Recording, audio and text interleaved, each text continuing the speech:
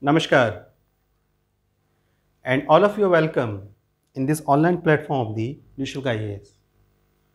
It is a great moment for us because from today onwards we are starting a separate venture along with the separate playlist and the section is known as dictionary for the English medium student and Shabdakosh for the Hindi medium student.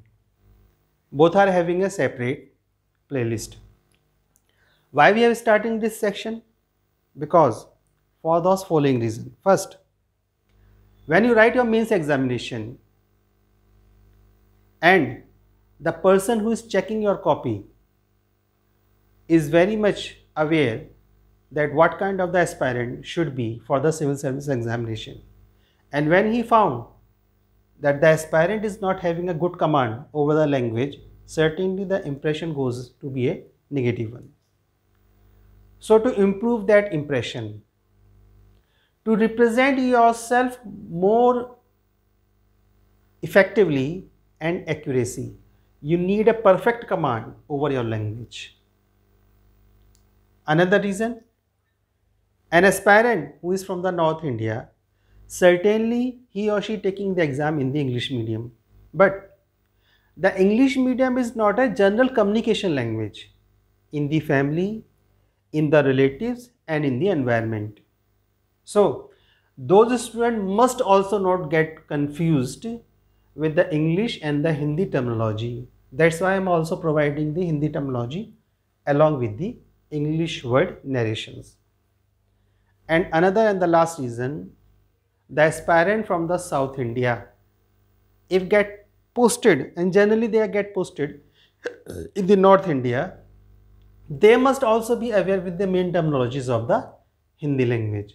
And the last reason is, in the mains examination, though you are expressed your medium as English language to the UPSC, but you have to write an essay in the Hindi language or in the regional language.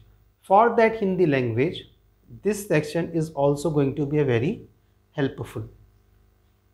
So all these reasons I have introduced this section Shabdavali for the Hindi medium student and sorry Shabdakosh for the Hindi medium student and the dictionary for the English medium student. I have taken this word from the Oxford dictionary and we are taking this word in the sequence alphabetically on daily basis and on daily basis you are going to discuss the five words for today i have selected these five words and these five words are abandon abase abate abashed or abdicate abandon the first word meaning is to leave somebody something for which you were responsible to leave somebody something for which you were responsible. That means the responsibility is not done yet. An employer has given a particular task or the work to his employee. And the moment employee accept that task, from that moment, the responsibility and the accountability also got started.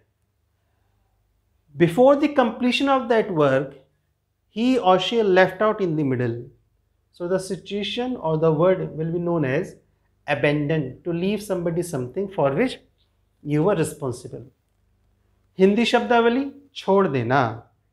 That means accountability on the responsibility has not meet yet, but before that, the employees has left out or the person holding accountability or responsibility has left out. Second word, abase, to accept somebody power over you when you accept that the person in the front of me is more stronger physically or mentally than me and you accept that before him or her the situation known as or the word used as abase to accept somebody power over you Hindi में अर्थ है अधीन हो जाना परतंत्र हो जाना भारत स्वतंत्र हुआ स्वतंत्र से पहले परतंत्र था किसके अंग्रेज़ों पर abet third word to make somebody something less strong. To make somebody something less strong. Suppose you know you must have good command over your language in aspect of means answer writing and interview section but you are not doing that work or the required amount of that work over yourself this is also a kind of abate to make somebody something less strong i would say in in in the addressing of that situation to make myself less strong when I am not having a good command over my language. Abashed. Abashed means ashamed, embarrassed for something you have done. You who have done? You have done. That means this is a situation for yourself. Oh, I have done this, I must not have.